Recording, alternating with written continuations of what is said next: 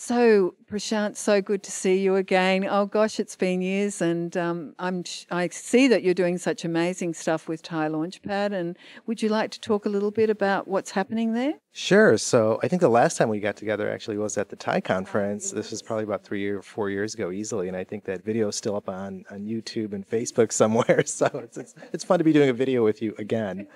Uh, yeah, no, TiE's been doing really great. We've continued to do the conferences, of course. TiEcon this year was a smashing success, as it is every year. Mm. I think we had close to 5,000 or so registrations. It just keeps getting bigger, and it, it has its own wind, so it just keeps sailing on. Um, what we started doing in the last few years is that a lot of the mentors inside of TiE have started taking active investment roles. And so we launched a couple of different activities in TiE to help uh, get investors and startups together. Uh, one program was called TiE Launchpad, which is what you just asked me about. Yeah.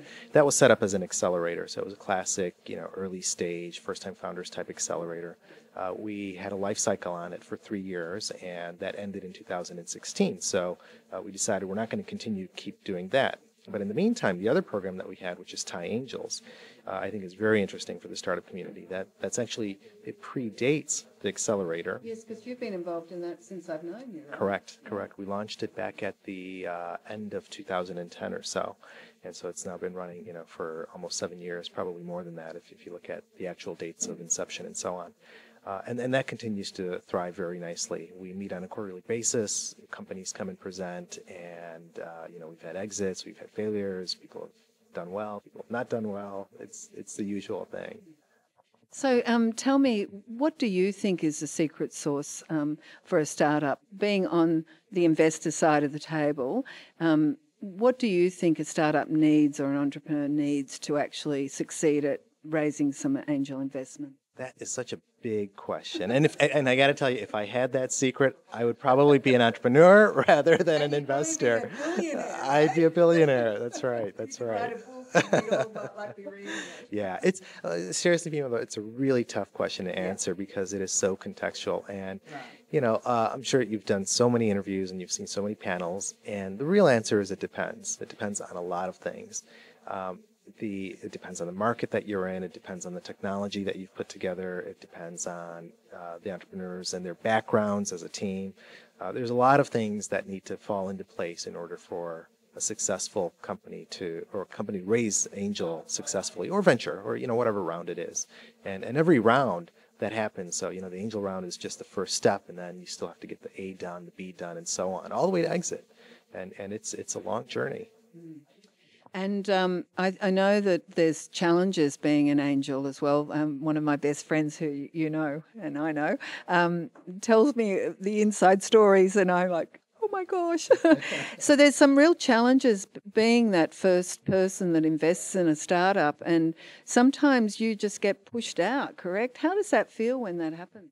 Well, it's not a happy feeling for sure. Um, the the the and, and you get pushed out in different ways when it happens, yeah. right? You know, the, the biggest way is that the company ends up raising a lot of money, so you just get diluted out. And typically at the angel stage, you don't always have uh, pro rata rights, as they're known in the, in the industry, the, the, right to continue investing. And frankly, you know, as angels, you don't necessarily want to continue investing at you know a very high level. Now, I'm not, an, for example, you know, you get something like an Uber, which is a $50 billion reportedly valuated company, valuation company. And as if you were an angel in that, you, you wouldn't be putting money in at those later stages. You just take the dilution because it's very, very, uh, it's, it's very large price for, for the shares at that stage.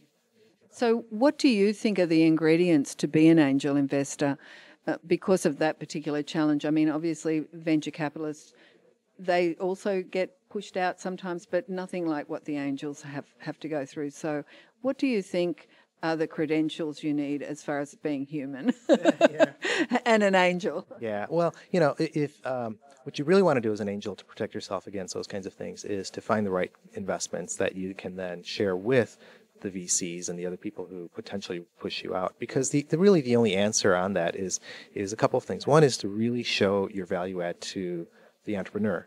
Because if the entrepreneur bats for you, then you know the later VCs they will take that into consideration, and we've had that. A really good example is a company that we invested in uh, at TiE Angels called PubNub, where uh, in their Series A, they had a choice of taking capital from a large corporate investor, and that investor would have taken the entire round, or they could have taken it from uh, a smaller VC, and that VC was willing to make room for TIE Angels to come in.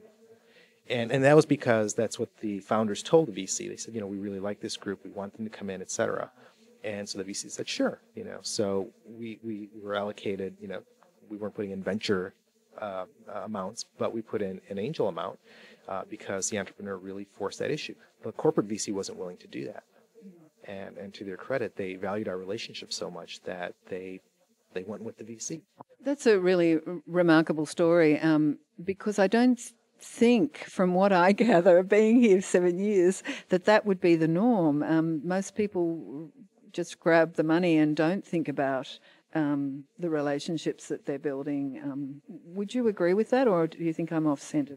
You, you see it both ways, right? There are there are certainly some cases where um, the founders they you know they claim to put on their fiduciary hat, right, to say, hey, I have to do what's in the interest of all shareholders. Yes. All, you know, they kind of mask themselves behind that fiduciary, yeah.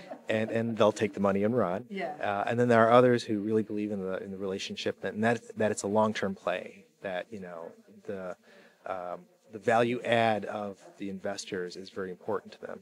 But that has to be there, right? So if, in this case, if the founders at PubNub didn't believe that TIE could add value, they wouldn't have done that. That's so reassuring to me because um, I have a belief that you know we are actually all human, and um, the business actually consists of humans. And if you value and credit that human value, which of course is the relationship, um, then it will actually increase your business. Um, but then I always think I'm a bit uh, over idealistic. So to hear a story like that and to hear that it happens a bit is really reassuring. Thank you. Yeah, absolutely. No, it, it, it, comes down to can you add value to the investments that you make? Are you going to be an active investor? If you're not going to be an active investor, then it's a different story. Then you know you might as well write whether you're an angel or a VC, just yeah. write a lot of checks to a lot of different entrepreneurs and hope that something on the roulette table actually hits. So it's sort of like throwing paint on the walls and seeing what yeah. sticks. Yep. Yeah. Look, thank you so much, Prashant, and I'm so looking forward to the talk tonight, and um, I think it'll be great. Thank you, Pima. I'm looking forward to it too.